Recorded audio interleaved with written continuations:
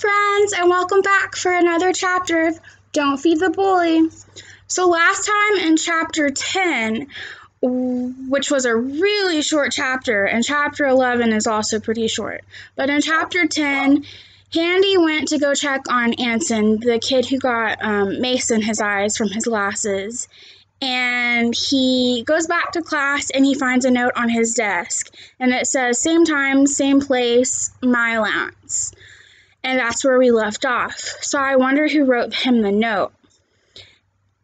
What do you all think? I think I have an idea, and we're going to find out in chapter 11. Are you ready? Okay, chapter 11. It's too much, Handy, Kayla said as we sipped our Slurpees on the weathered pigeon potty that doubled as a picnic bench near Mr. Fresh. You could have gotten expelled. Ralphie piped in. And that and the fact Kurt doesn't care who gets hurt means he will try anything. It's time to pull back and ride out the year, man. I knew they'd be stunned when I weaved my tale of locker room excitement with the janitor, the troll head, Zach, the plastic knife, and their connection with Anson Summerhead. I didn't know they would be worried enough about me to want to stop. It felt good. I get you, but even if I wanted to stop, I couldn't, I said. Kirk won't stop until he silences me, and the only way to do that is by getting me in trouble.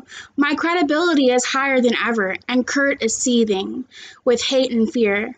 A mastermind in meltdown is ripe to slip ups. And I told you I have a plan.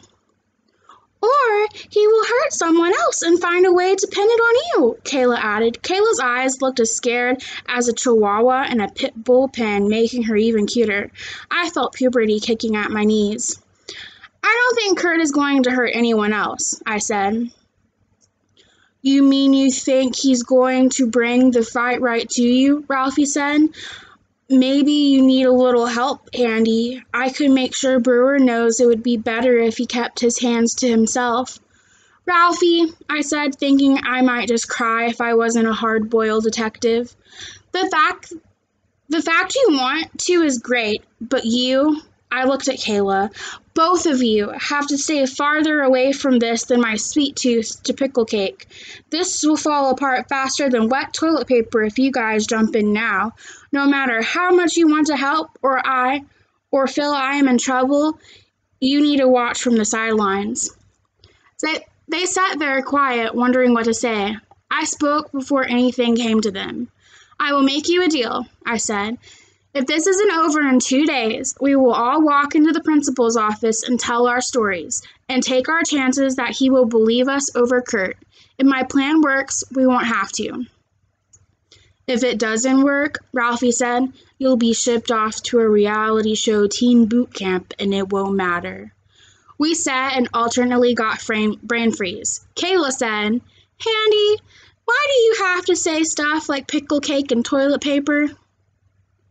And there's chapter 11, another pretty short chapter. But we find out that Ralphie and Kayla are really good friends. Do you all have any really good friends?